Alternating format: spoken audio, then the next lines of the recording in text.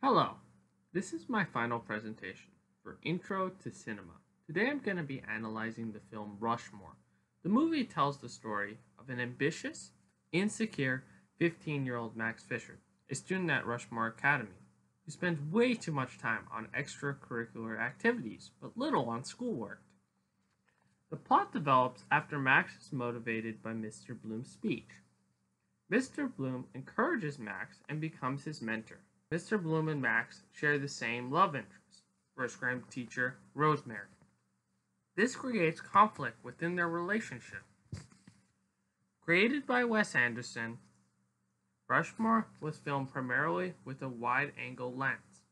Anderson is known for adapting the French New Wave techniques not only in Rushmore but all of his films. Anderson uses a heavy filter with colors and saturation and light to set a tone for his, his setting. The inside of the school, Rushmore, for example, was shown with a bright colors. Outside shots were done with a darker color. Cleveland High School was also dark and depressing. In addition to the use of colors and lights, the unsteady camera work was used to portray chaos within Cleveland High School. Precise shots were used when filming at Rushmore Academy, giving the impression that Max was in control. Another technique used by Anderson, similar to the French New Wave, is to use the continuous shot. One example of this is at the chapel scene, Max, Max and Mr. Bloom are seen talking within the frame one exits. Rather than cutting to a different angle, the scene continues at the same shot. Camera angles are important throughout this film. One example is the bleacher scene. The position of Max being higher on the bleachers than Rosemary is significant. This scene montage editing.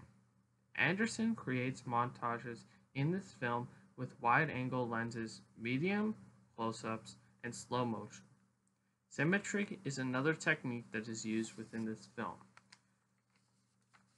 The final technique I am going to mention is Anderson's use of soundtrack.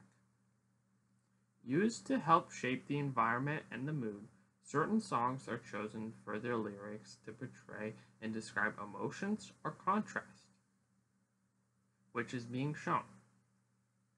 Mr. Bloom in the party scene feels isolated and sad.